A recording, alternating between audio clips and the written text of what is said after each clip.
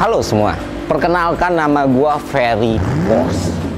Ya itu nama asli gua ada di akte. Professional trader, investor profesional, CEO. Pokoknya lengkap ada di bio Instagram gua sampai jumlah TikTok gua gua tulis di situ. Intinya gua orang kaya. Kaya. Dan bagaimana gue mencapai semua kekayaan ini? Apakah dari trading? Apakah dari investasi? Apakah dari jabatan gue sebagai CEO? No. Gue mencapai semua kekayaan ini karena kalian. Gue mencapai kekayaan ini karena memanfaatkan kebodohan kalian, memanfaatkan ketidaktahuan kalian, dan memanfaatkan kerakusan kalian. Dan di konten kali ini gue bakal kupas tuntas tutorial cara menipu orang Indonesia.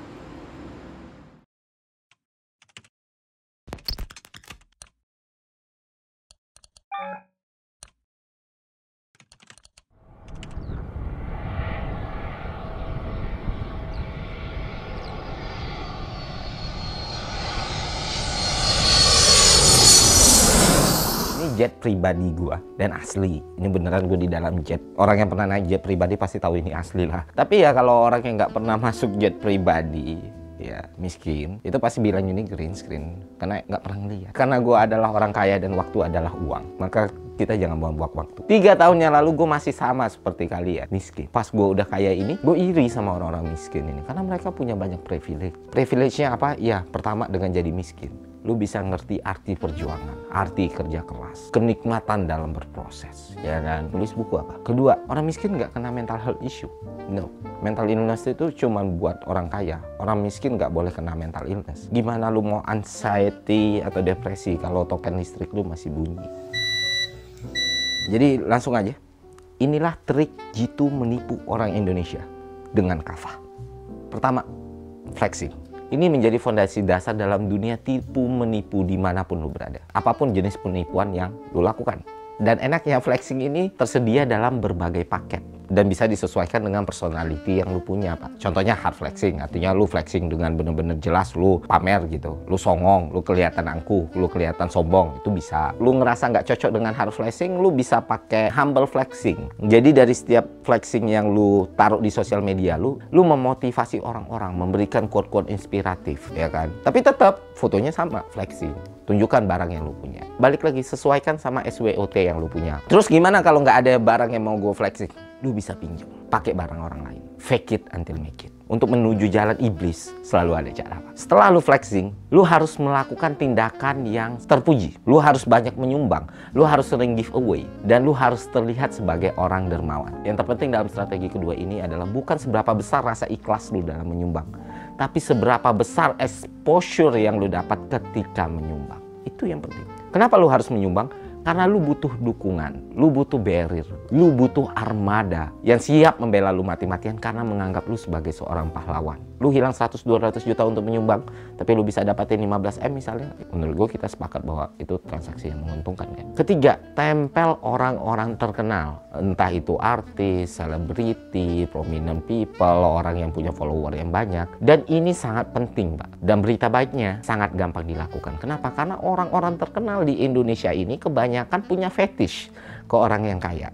Oh iya, karena apa yang dipikirkan mereka adalah mereka bisa memanfaatkan orang-orang kaya. Mereka tidak tahu kenyataan yang sebenarnya kalau kitalah yang memanfaatkan mereka. Gimana cara mepetnya? Gampang banget. Misalnya mereka jual barang, jual barang nggak penting. Jual barang satu juta, lu bidding 100 juta, 1 M. Itu mungkin harga yang lebih mahal dari sumbangan, tapi totally worth it kok. Pokoknya apa pun yang mereka lakukan, lu hargain dengan uang. Keempat, yang penting adalah tetapkan hati lu di jalur ini. Skema tipu menipu itu adalah karya seni, Pak. Dibutuhkan konsistensi, dibutuhkan semangat, dibutuhkan visi gitu. Keempat hal ini lu jalani, maka lu bakal jadi penipu yang kafah di Indonesia ini. Percayalah. Lu pasti mikir ini konyol, lu pasti mikir ini lucu, tapi lu tahu nggak? Selama puluhan tahun, dari era ke era, dari masa ke masa, sudah ratusan triliun uang masyarakat Indonesia yang lenyap seketika dengan skema, format, pola, dan strategi yang sama. Yes, hal yang lu bilang lucu ini. Gimana? Terhibur? Mungkin ada yang nanya ya, wah kalau Ferry Porsche itu kaya kok bajunya kucel banget. Uh, yang ngomong kayak gitu berarti nggak ngerti konsep kekayaan, Kalau lu udah di levelnya Ferry Porsche, which is itu super kaya banget, lu udah nggak peduli penampilan. Lu pakai baju kucel masih dihargain orang. Kenapa? Karena lu punya uang cuy. Nah yang masih butuh pakai kemeja kemeja kayak gini yang kayaknya nanggung pak. Kalau super kaya enggak. Konsepnya gitu. Nah lanjut. Masalah apa, bagaimana, kenapa, dan penyebabnya kayaknya nggak kurang gue bahas di konten-konten sebelumnya. Nah sekarang kita balik ke pertanyaan apakah semua anak muda yang melakukan flexi berlebihan di sosial media adalah penipu? Jawabannya belum tentu tapi nggak ada salahnya mencari tahu atau cross check dulu. Kenapa? Karena track record itu penting, Pak. Yang namanya pencapaian pasti butuh proses dan itu mutlak. Cepat-cepatnya roket melesat pasti meninggalkan asap. Nah, kalau ada orang yang mencapai sesuatu yang besar, sesuatu yang tinggi, kaya dalam waktu yang singkat, tapi prosesnya nggak pernah jelas, step by stepnya nggak pernah jelas, milestone-nya nggak pernah jelas, dan nggak pernah bisa masuk akal kita, maka di situlah kita harus masang sikap skeptis. Contoh nyatanya, salah satu tersangka binary option kemarin kan bilang lima tahun yang lalu dia cuma punya duit di rekening 250 ribu pak. Dan dalam lima tahun ternyata diketahui rekeningnya sekarang itu nilainya 500 miliar lebih. Belum sama aset ya. Kalau dia bisa menghasilkan 500 miliar rupiah dalam lima tahun berarti per tahunnya dia bisa menghasilkan 100 miliar rupiah. Artinya per bulan dia bisa menghasilkan 8,3 miliar rupiah. Sekarang gue tanya ke lu bisnis apa yang halal legal dan nggak butuh suntikan modal yang besar yang bisa menghasilkan 8,3 miliar per bulan dengan konstan. Nah itulah dari common sense saja nggak masuk kan. Contoh nyata lagi, kemarin rame banget penawaran-penawaran investasi kayak suntik modal, robot trading, dan lain sebagainya. Yang mana penawaran ini menjanjikan return yang besar di waktu yang singkat. 10-15% per bulan cuy. Gue heran kenapa masih ada orang yang tertipu dengan hal-hal seperti ini. Karena menurut gue nggak butuh untuk jadi jenius untuk paham kalau dia bisa menghasilkan 10 sampai 15% per bulan, ngapain dia butuh duit lu? Kenapa dia nggak minjam ke bank? Kenapa dia nggak main sendiri? Intinya ya namanya proses itu penting. Nggak harus cepat, nggak harus lambat. Yang penting ada proses, Pak. Orang yang kaya di usia 89 tahun dan orang yang kaya di usia 21 tahun itu punya kesamaan, yaitu proses itu sendiri. Nah, yang jadi masalah adalah kalau komponen proses itu hilang. Makanya kalau ada yang menawarkan lu sebuah kesuksesan, sebuah kekayaan, sebuah kejayaan tanpa butuh proses, maka di situlah lu harus berpikir ulang. Lu tuh baru 21 tahun ya.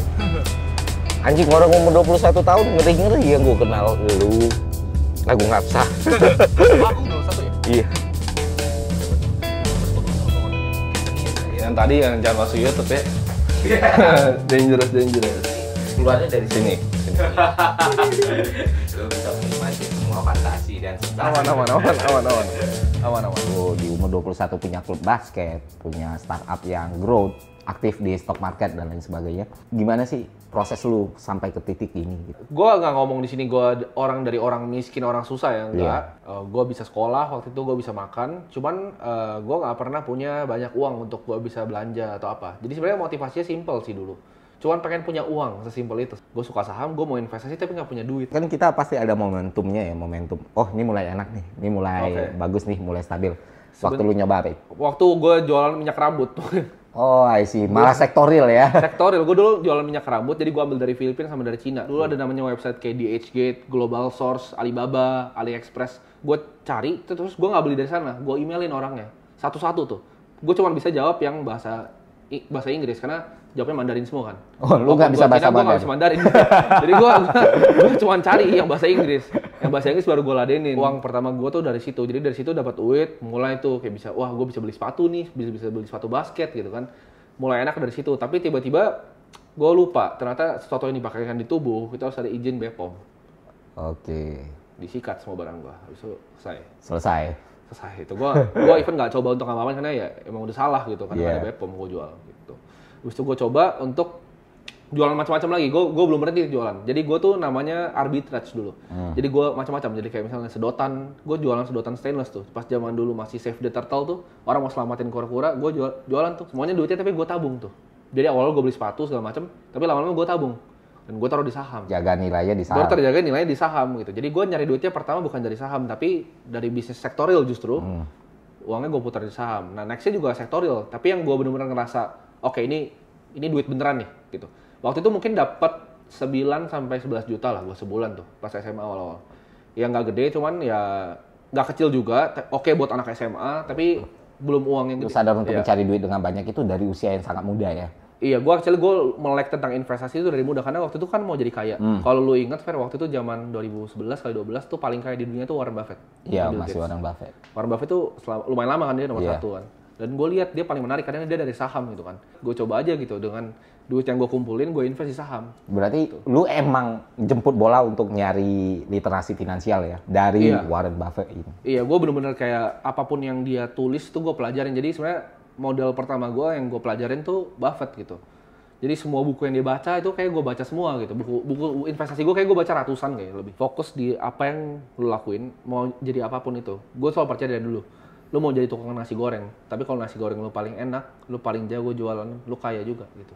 Lu tahu kan dalam dua tahun terakhir ini dari mulai suntik modal terus kasus binary option kemarin yang mana kita baca di berita asetnya itu nggak masuk akal gitu sampai dinilai Gila-gilaan segitu gila-gilaan. Dan orang-orang ini sebenarnya kita trace ya kita tracking mereka. Itu nggak ada nggak ada nggak ada background pengusaha atau Iya. background ekonomi atau background apa tiba-tiba langsung bluff. Apa penyebab segitu gampangnya orang Indonesia tertipu menurut? Kalau menurut gue ya, ini yang gue analisa tuh orang Indonesia tuh gampang banget untuk diiming-imingin dari dulu, dari dulu. Return 10% per bulan gitu. Pertanyaan gue ngapain lu ngajak gue gitu kan? Lu sendiri aja 10% per bulan ya nggak sih? Udah kaya gitu loh. Ngapain ngajak gue gitu? return 10% per bulan gitu atau kadang ada yang nawarin 20% ke bulan kalau bisa dapat 20% per bulan ya dia ke bank dong Dia ngapain ke bank dia pinjam aja uang Iya. gitu. Terus menurut lo cara menghindari hal seperti ini kayak gimana tuh? Edukasi. Sesimpel edukasi. Kan orang banyak yang bilang, kenapa nggak ditangkap-tangkapin semuanya? Menurut gue ini tuh seperti fase bakal ada terus gitu, nggak bakal mati. Ini sekarang binary, ntar bakal ada robot trading, ada yang lain lagi, berganti terus gitu. Bakal ada orang yang tiba-tiba kaya aja yang kita nggak tahu Pasti. track recordnya gimana terus menawarkan produk dan kita tertarik supaya bisa jadi kayak mereka iya. Terhindar dari penipuan dan mendapatkan penghasilan tambahan yang layak, itu punya fundamental yang sama, yaitu knowledge. Nah, knowledge ini walaupun nggak menjamin 100%, tapi meminimalisir resiko kita untuk terkena penipuan. Dan dengan knowledge pula, kita akan melihat potensi yang lebih luas untuk menghasilkan pendapatan. Dari mana knowledge ini didapat? Ya dari edukasi dan literasi. Yang jadi masalah di Indonesia adalah edukasi dan literasi atas finansial itu masih sangat minim, Pak. Demand-nya tinggi, ketersediaannya rendah. Dan kalau kita balik lagi ke ilmu ekonomi, ketika permintaannya tinggi, sedangkan ketersediaannya rendah, berarti kan itu punya potensi di market. Makanya Timothy beserta rekannya Raymond dan Felicia mendirikan startup yang emang fokusnya ke edukasi finansial. Kenapa edukasi finansial yang mereka pilih? Karena gue tuh kalau misalnya ini jawaban jujur dari gue ya, gue waktu itu ngelihat eh, program kerjanya Pak Jokowi sebenarnya. Wow. Di mana pertama yang mau diimprove dari negara kita itu SDM, sumber daya manusia. Jadi gue pikir next company yang big itu bakal diedukasi kan, in a way. Jadi ya gue trying to build itu sebenarnya edukasi dari dulu karena gue emang punya passion juga sebenarnya di edukasi. Dan gue rasa gue pengen educate orang dengan cara yang masih simpler karena kalau lu kayak cari tentang investasi itu scattered gitu. Kenapa nggak belajar di YouTube aja? Kenapa nggak belajar di Google kan? Pertanyaan orang. Karena itu tuh scattered. Lu nggak tahu mana yang benar, mana yang salah. Ini gue kumpulin semua expert, gue taruh di satu tempat. Udah lu belajar mereka aja gitu. Tapi kan cost yang lu keluarin untuk melakukan itu kan gede banget kan kayak lu ngundang orang-orang yang gila sih gue bilang. Dan lu berani mengambil risiko sebesar itu. Berarti lu percaya banget sama market edukasi ini edukasi. Kenapa bisa sebesar itu? Gue percaya, ya actually lu bener itu itu sebenarnya ya ada beberapa bakar duit juga kan untuk undang speaker-speaker yang ya lumayan, ya lu lihat lah nama-namanya gitu kan. Tapi ya gue pengen bring the best education ke market Indonesia dengan harga yang affordable sebenarnya. Kenapa kenapa lu jual dengan harga semurah itu? Karena sebenarnya sesimpel kayak gue ngeliat ya, masyarakat Indonesia tuh kalau misalnya gue kasih harga yang tinggi gitu untuk edukasi, pasti barrier to entry-nya banyak kan. Jadi gue memang bikin se-affordable mungkin, even orang bisa kayak beli sebulan. Karena ya gue pengen ini bisa diakses sama semua masyarakat Indonesia. Berarti sebenarnya keuntungan lu dari platform ini bukan dari eh, biaya yang dikeluarkan orang itu untuk mendaftar sebenarnya. Eh, any- in a way kan kita sebenarnya subscription model kan. Iya. Jadi ya pasti dapat uangnya untuk tutup operasional dari sana. Cuman kan kalau kalian lihat misalnya dari speaker kita keluarin duit itu bener-bener banyak sih untuk syuting modul, bikin konten segala macam. Ya, Gue biar karyawan. lihat lihat sebesar apa gitu. Terus berarti emang lu berusaha ini kita bicara bisnis ya, Ya. bicara bicara finansial. Emang lu berusaha untuk bikin company startup lu itu selejit mungkin, Ya. trustnya setinggi mungkin. Di mana kalau menurut gue ya, Ya. lu berusaha ngebangun trust ya, trust dari orang yang punya duit Ya. supaya percaya perusahaan ini legit. Ya. Ya, makanya tapi lu gak akan pernah bisa wujudin itu kalau perusahaan ini abal-abal. Ya, jadi gue gini, gue gua sadar bahwa misalnya kayak kualifikasi gue sendiri tuh nggak terlalu kompeten. Jadi gue pengen di sini gue bring the best expert. Jadi nggak cuma sekedar orang yang ngomong tentang investasi, tapi gue bring the, the expert gitu. Misalnya seperti Pak Sandi, itu kan dia udah track recordnya bikin Saratoga segala macam. Gue bawa dia as a speaker untuk teman-teman semua bisa enjoy karena beberapa speaker yang gue bawa di sini aksesnya belum tentu bisa didapetin gitu. Jadi gue bawa yang jago-jago dari asset management untuk ngajar misalnya portfolio management karena banyak banget yang bingung gitu kan kayak tentang saham, tentang keuangan. Jadi sebenarnya ini nggak cuma tentang saham sih, tapi misi gue itu untuk orang tuh bisa financial freedom pada akhirnya sebenarnya. Apa sih end game-nya dari seorang Timothy Ronald? Menurut gue tuh itu nggak cuma sekedar soal materi, tapi gue waktu itu baca buku dari Andrew Carnegie, judulnya The Gospel of Wealth. Dia orang paling kaya yang pernah ada di Amerika kan. Iya. Uh, railroad, iya, philanthropist Titan. Dibilang di mana uang itu diciptakan nanti ujung-ujungnya untuk dibagikan. Jadi sebenarnya kalau misalnya lu kaya banget, terus lu cuma tinggalin untuk warisan lu, lu nggak akan live a legacy. Kalau di luar negeri ada Carnegie Hall segala macam. Gue tuh pengen bisa live a legacy bahwa gue tuh ngubah orang. Jadi orang tuh bisa thank you sama gue karena literasi finansial mereka lebih baik. Mereka tuh ngerasa, oh karena gue keuangan mereka terbantu gitu. Gue pengen banget kayak gitu. Itu tulus atau enggak sih? Tulus itu sebenarnya Demi Tuhan? demi Tuhan. Oke oke, kita tunggu saja lima tahun lagi atau dua tahun lagi atau tiga tahun lagi. Di mana Timothy Ronald? Apakah masih di tempat ini dengan mobil kuning ini? Dan ya gue percayalah. Thank you. Nah, sederhananya ternak uang ini kan startup. Ya kan? Dan probisnya itu berbeda dari bisnis konservatif. Yang jadi nadi dari startup itu adalah valuasi. Dan valuasi ini nggak akan berkembang ke mana-mana kalau produk lu abal-abal. Kalau produk lu nggak berdapat sentimen dan respon yang positif dari masyarakat. Makanya mereka jor-joran banget untuk meningkatkan kualitas produk yang mereka tawarkan ke masyarakat, Pak. Baik dari substansinya, kemasannya maupun marketingnya. Inilah bentuk keseriusan mereka dalam mengembangkan startup yang mereka bikin. Yang mana itu ternak uang, yang mana fokusnya di edukasi finansial. Dan itulah kenapa ternak uang berkembang dengan sangat pesat Pak, sampai bisa mendatangkan angel investor dalam waktu yang singkat. Kenapa gue menjelaskan ini dengan pendekatan bisnis dan ekonomi? Kenapa gue nggak pakai retorika atau kalimat yang berbunga-bunga, janji-janji manis gitu? Ya karena gue tahu penonton gue kalian. nah sekian dari gue, semoga Doku Vlog ini bermanfaat. Sampai jumpa di Doku Vlog selanjutnya. See ya.